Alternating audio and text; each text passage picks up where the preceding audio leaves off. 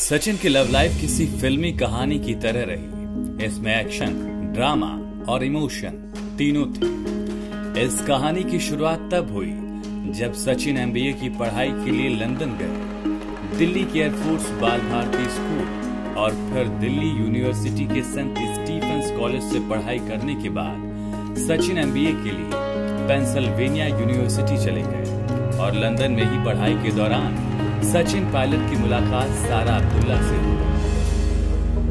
कुछ ही दिनों में दोनों डेट करने लगे। दरअसल सारा कश्मीर के पूर्व सीएम फारूक अब्दुल्ला की बेटी और उमर अब्दुल्ला की बहन है। एमबीए करने के बाद सचिन भारत लौट आए, लेकिन सारा को पढ़ाई के लिए लंदन में ही रुकना पड़ा। हालाँकि भारत और लंदन की बीच की दूरी भी दोनों के प्यार को कम नहीं कर सकी।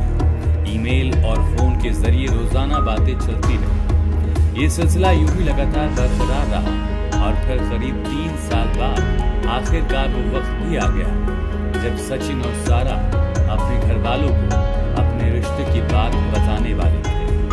सचिन हिंदू और सारा मुस्लिम। दो अलग अलग धर्मों के इस मिलन में परेशानी भी होनी थी। और हुई भी। जब दोनों ने अपने घर वालों को बताया कि वो शादी करना चाहते हैं तो उनके प्यार के बीच मज़हब की दीवार आ गई।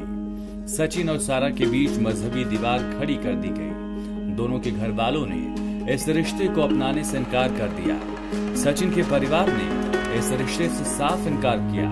जो सारा के लिए भी राह आसान नहीं थी। रिपोर्ट के मुताबिक पिता फारूक अब्दुल्ला ने इस पर बात करने से ही इनकार कर दिया था। लेकिन सारा ने भी हार नहीं मानी। वो कुछ दिनों तक रो धोकर घर वालों को मनाने की कोशिश करती रही, लेकिन इसके बाद भी घर वाले नहीं माने। तो सचिन और सारा ने बिना किसी की परवाह किए जनवरी 2004 में शादी कर ली। इस शादी में अब्दुल्ला परिवार का कोई सदस्य शामिल नहीं हुआ। सचिन के परिवार ने उनका साथ दिया था। हालाँकि कुछ समय बाद अब्दुल्ला परिवार ने भी इस रिश्ते को कबूल किया। और अधिकांश फ़िल्मों की तरह यहाँ भी लव स्टोरी की एंडिंग हैप्पी ही रही। हालाँकि ये बात अलग है कि इसके लिए सचिन और सारा को बहुत मशक्कत करनी पड़ी। सचिन आज जहाँ राजनीति में अपनी अलग पहचान बना चुके हैं। वहीं सारा सामाजिक कामों में लगातार खुद को व्यस्त रखती है। दोनों के दो बच्चे भी हैं। और सचिन पायलट शादी से पहले राजनीति में कदम रखने के बारे में कभी सोचते भी नहीं थे। लेकिन अचानक पिता राजेश पायलट के एक एक्सीडेंट में मौत के बाद उन्हें राजनीति में उतरना पड़ा।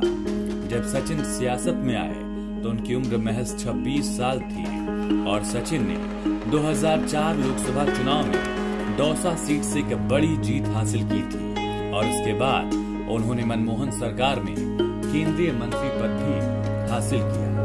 2018 में राजस्थान में जब कांग्रेस की सरकार बनी तो उसमें सचिन पायलट का एक बड़ा किरदार था।